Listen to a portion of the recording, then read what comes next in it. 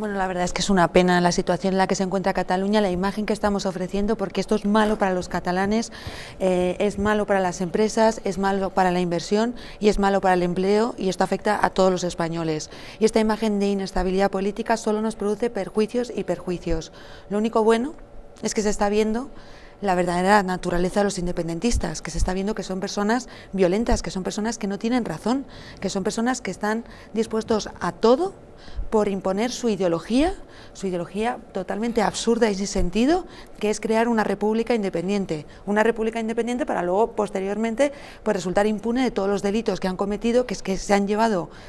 presuntamente presuntamente a manos llenas dinero para, para, para, crear su red clientelar. Digo presuntamente porque esto lo tiene que decidir un juez, pero desde luego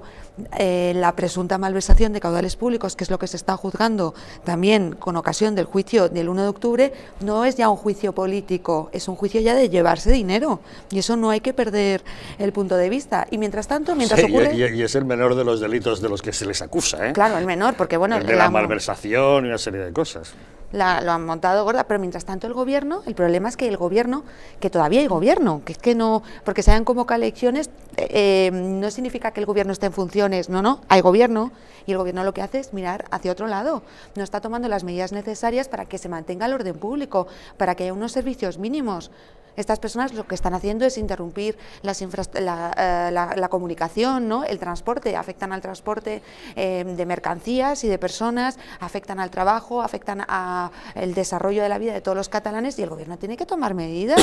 Lo que no puede hacer es mirar hacia otro lado, porque claro, sabe perfectamente que después de las elecciones su socio natural